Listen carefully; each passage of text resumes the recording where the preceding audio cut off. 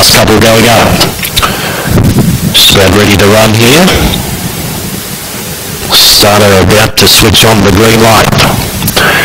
There it is. Green light for race 11. Lures in motion. They're set to jump. Ready.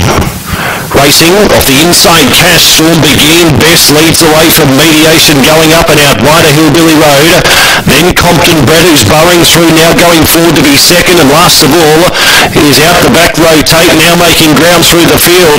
Compton Brett by two Cash Storm rotate running on from the back then three lengths away to mediation at Hillbilly Road whipped them in. Compton Brett the leader up to the bend from Cash Storm. Favourites will fight it out here. Compton Brett the leader going strongly. Compton Brett will hang on.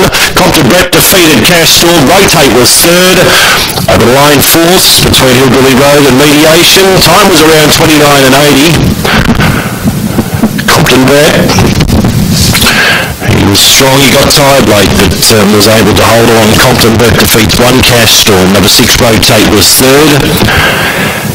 We'll stand by for the fourth number after race 11.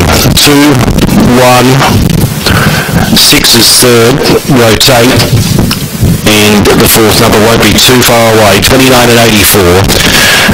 Hillbilly Road is fourth. Hillbilly Road, 216 and 8. Winner scored by one length, four and a half between second and third, one by four and a half.